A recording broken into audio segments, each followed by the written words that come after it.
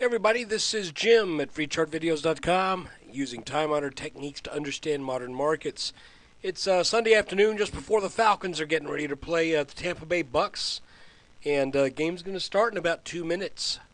I'm going to probably miss the beginning of the game, but that aside, this video is for educational purposes only. It is not intended to be used as any form of investment advice. I can draw lines on charts, but you have to draw your own conclusions from your own due diligence and make investment decisions that are suitable for your financial situation. I'm not a licensed professional. I'm just a guy that draws lines on charts. So we're going to look at the S&P 500, kind of see if we can get a feel for what's going on.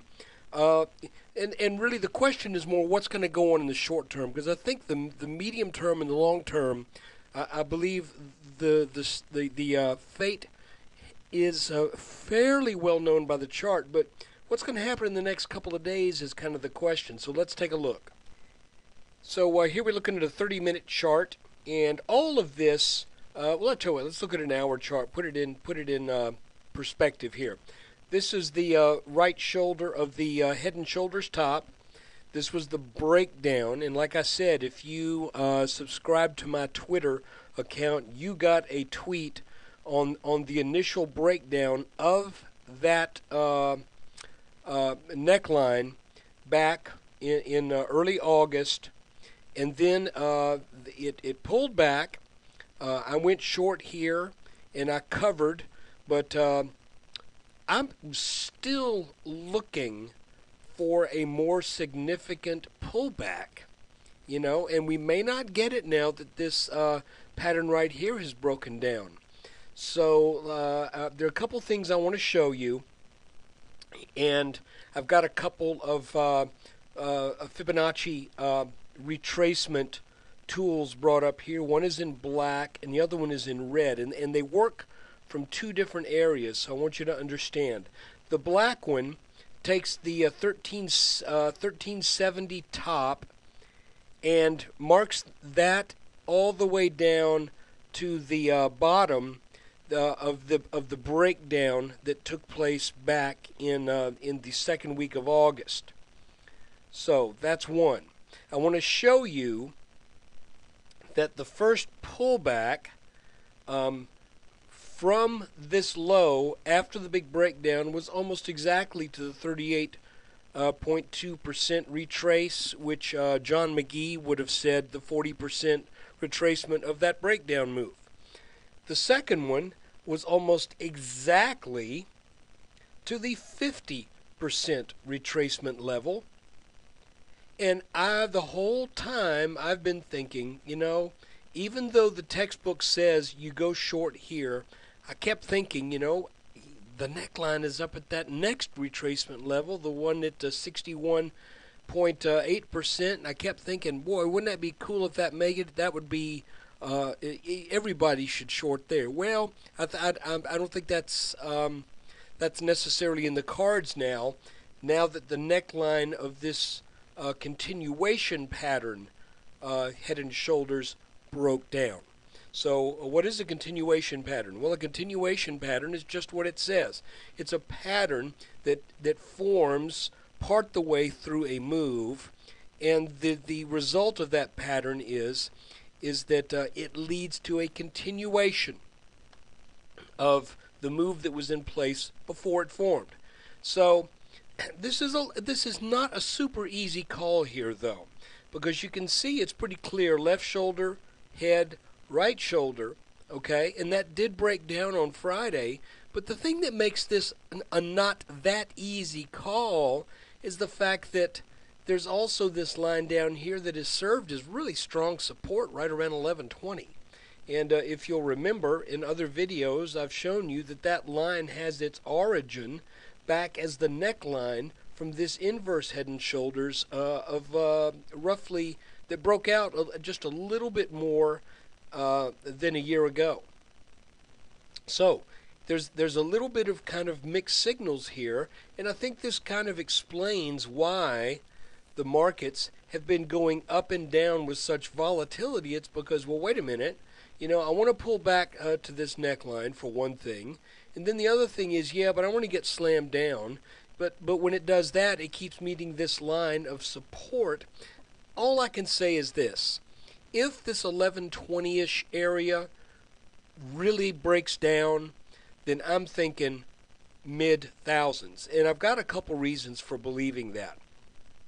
The first reason is um, that's what this in, that's what this excuse me that's what this head and shoulders pattern says.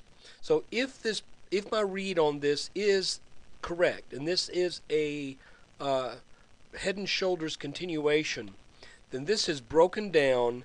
It'll pull back to the neckline, uh, and then head back down and to at least uh, roughly a thou into the low thousand fifties. However, like I said, it's it's got this line it's got to get through and and I think 1120 will likely put up something of a fight. I don't know how big, but um, you can tell that's where the bounce took place uh, on Friday. Additionally, now if we look at a five-minute chart, you can see, and we've seen this in in, in other instances. Tell you what, maybe if I go to a 15 minute, we'll see it a little bit better. You'll see that there'll be these fairly impressive uh, moves uh, in this in in over the past month or so. That'll uh, there'll be a a topping pattern, and then a sudden uh, swift move down, then a move up, then a little bottom develops here with some. You could see though that the that the move itself tends to be pretty swift and then it gets caught up and moves around a little bit. You get whipsawed a bit, and that's the reversal. Um, what happened um, over the last uh, two days? Um, actually, that low was on Thursday. Uh, pardon me, but you know, Thursday, Friday, yeah, same thing. The chart's the chart. But this whole little area right here, sorta looks like this may be part. Uh, uh, if I, if, what's a good way to put this? If if I were to see this all by itself, just this week of trading, and maybe didn't really have all of the um, all of the context. This looks like it may be trying to reverse up, and the reason I say that is uh, there was a downward channel, a little sloppy, um, that that started to form after that gap down. That came up, back tested this line, came up again, back tested it again, and now was going sideways. Um, if this market gets a little bit of steam and can get over roughly 1140, 1144, 1145, then then I think there's a decent chance that um, that the markets could could have a little bit more upside to them, but I think they're going to have a hard time getting uh, across this line right here because this is uh, drawn from this top across this top. I just kind of think something like this is, is maybe in the works. Um, I could be wrong, and, and keep in mind please always keep this in mind. When we look at channels and we start to develop uh, something on a chart that appears to be a channel, it, it's it's a sad but true thing.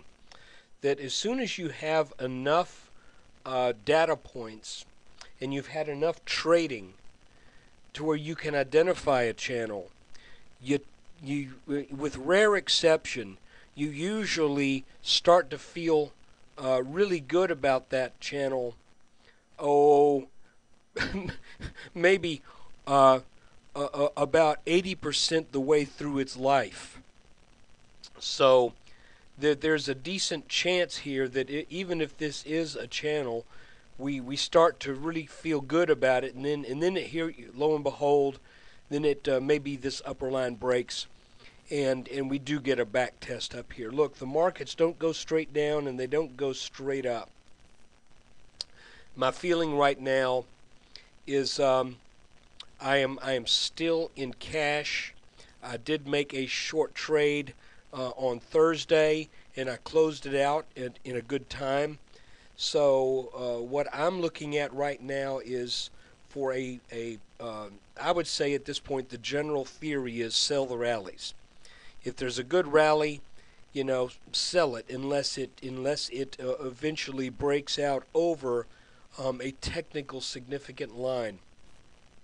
Um, we've got a couple uh, things that we can draw here. We can draw uh, this line across this top and then across this top right here. We've got this top and this top. All of all of these lines that I've got drawn right here. You can see there's just a whole swarm of them. Um, the neckline from the large uh, invert, excuse me, the large head and shoulders top. One, two, three, four, five, and then we've got uh, six.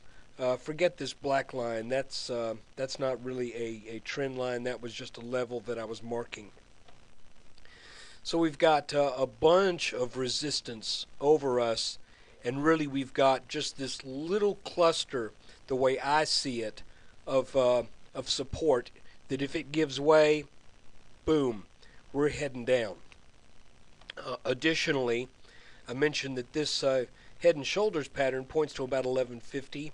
Another thing that could point to 1150 is if we just look at this uh, straight line move off of 1220 down to 1120, and now it's congesting and going uh, sideways a bit. if this is not a, a little reversal pattern, and we'll, we'll start to uh, probably be able to sort this out a little bit better on Monday, if this is not a uh, reversal pattern, then it will end up being a little flag, and the flags fly at half mast. And interestingly enough, if this one rallies up to that neckline as a pennant or a flag, and it is flying at half mast, um, once it uh, once it runs all the way down the flagpole, it will be at the exact same level that we would expect from this head and shoulders pattern. So, excuse me. Make a long story short, get down under 1100, this market's got probably another 45 points to go, minimum. Um, I think it will probably, if it goes that far, it will likely head on down um, because this black line right here really is just the measure of of of this uh, head and shoulders. The next uh, uh, support that I would really expect from the chart uh, actually comes back from two years ago, and that is the the uh, neckline of this large inverse head and shoulders pattern that marked uh, the uh, the last. Uh, well, I'm going to call it the last bear market bottom. You know what I mean. Um, if we break down through that, then then we are headed down even further. So uh, right now, as I mentioned, there is support here, support here, and support here that comes from long-term uh, uh, trend lines. But uh, you wonder how, how well the market's memory is maybe for this line right here. It may not be quite as much as, say, these two necklines. This, this, this one right here and this one right here. The other thing I want to mention is that a lot of times after a, a really swift downwards move like this, you will enter into a period of, of great volatility. A lot of times, this uh, takes the form of a triangle, uh, according to uh, Edwards and Magee. And really, uh, again, let's get rid of that line.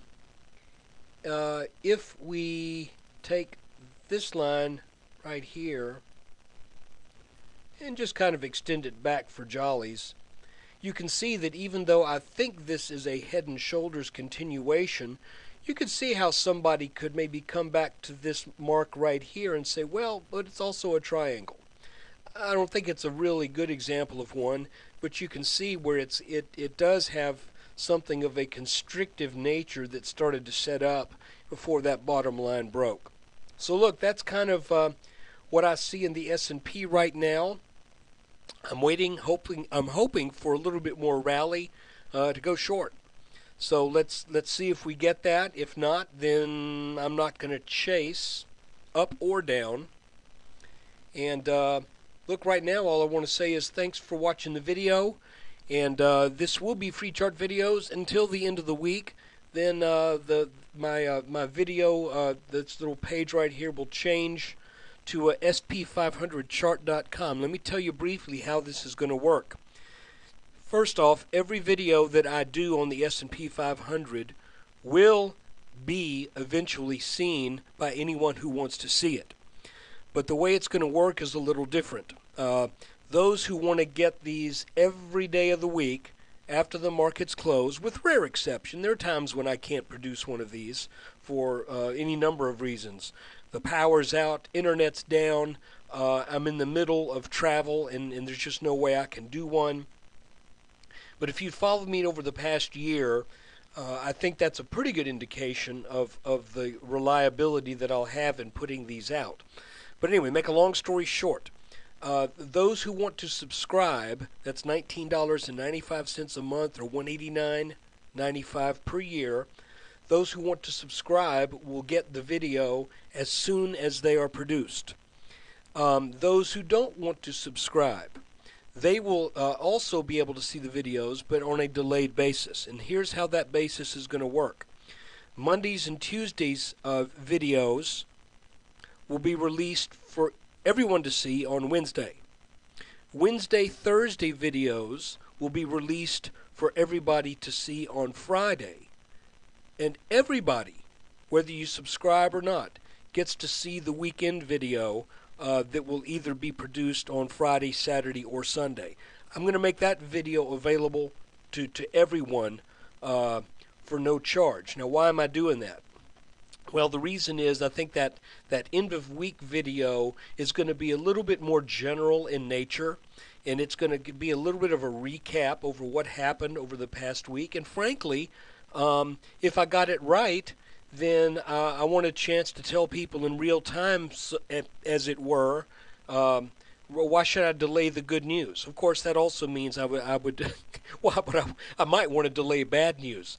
But you, you get the picture. So if you want, if you want to get uh, Monday through Friday's video uh, on a timely basis after the videos are produced, that will be the member service. If uh, if you can wait a couple days for these, and you just want to learn uh, some some chart reading techniques, you can still do that. It's just that uh, it will come to you on a delayed basis, except for the weekend video. So look, take care. I hope you'll consider uh, that small investment, and I hope this has helped. I've gotten a lot of emails from people who've said this is really helping me out a whole bunch. And I remind you, I really am. I'm just a guy who draws lines on charts.